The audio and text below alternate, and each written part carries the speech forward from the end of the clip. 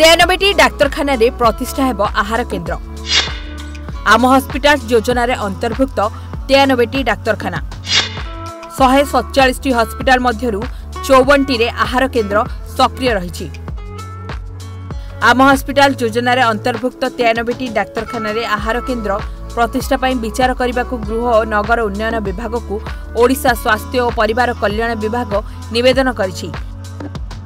ଗୃହ ନିର୍ମାଣ ଓ ନଗର ଉନ୍ନୟନ ବିଭାଗର ପ୍ରମୁଖ ସଚିବଙ୍କୁ ସ୍ୱାସ୍ଥ୍ୟ ସଚିବ ଶାଲିନୀ ପଣ୍ଡିତ ଆମ ହସ୍ପିଟାଲ ଯୋଜନାରେ ସମୁଦାୟ ଶହେ ସତଚାଳିଶଟି ସ୍ୱାସ୍ଥ୍ୟ ଅନୁଷ୍ଠାନର ପରିବର୍ତ୍ତନ ପାଇଁ ରାଜ୍ୟ ସରକାରଙ୍କ ପୂର୍ବ ନିଷ୍ପତ୍ତି ଉପରେ ଆଲୋକପାତ କରି ଚିଠି ଲେଖିଛନ୍ତି।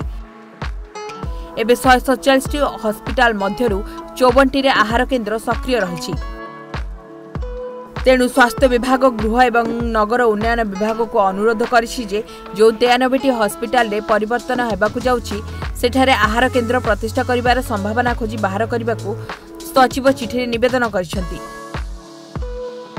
ସୂଚନାଯୋଗ୍ୟ ହେଉଛି ରାଜ୍ୟର ଡାକ୍ତରଖାନାରେ ଥିବା ଆହାର କେନ୍ଦ୍ର ସପ୍ତାହରେ ଛଅ ଦିନ କାର୍ଯ୍ୟ କରୁଥିବା ବେଳେ ରବିବାର ଦିନ ବନ୍ଦ ରହୁଛି। ତେବେ ସପ୍ତାହ ସାରା ରୋଗୀ ସରକାରୀ ଡାକ୍ତରଖାନାକୁ ଆସୁଥିବାରୁ ଏହାକୁ ଦୃଷ୍ଟିରେ ରଖି ସ୍ୱାସ୍ଥ୍ୟ ବିଭାଗ ପକ୍ଷରୁ ସମସ୍ତ ସାତ ଦିନ କାର୍ଯ୍ୟକ୍ଷମ କରିବା ପାଇଁ ଜନସ୍ୱାସ୍ଥ୍ୟ କେନ୍ଦ୍ର ସହ ସଂଯୁକ୍ତ ଆହାର କେନ୍ଦ୍ରକୁ ସାମିଲ କରିବାକୁ ଅନୁରୋଧ କରାଯାଇଛି। ଏହି ଡାକ୍ତରଖାନାଗୁଡ଼ିକରେ ରୋଗୀ ଓ ଆଗନ୍ତୁକମାନଙ୍କୁ ପୁଷ୍ଟିକର ଖାଦ୍ୟ ଯୋଗାଇ ଦେବା ଉପରେ ଚିଠିରେ ଗୁରୁତ୍ୱାରୋପ କରାଯାଇଛି।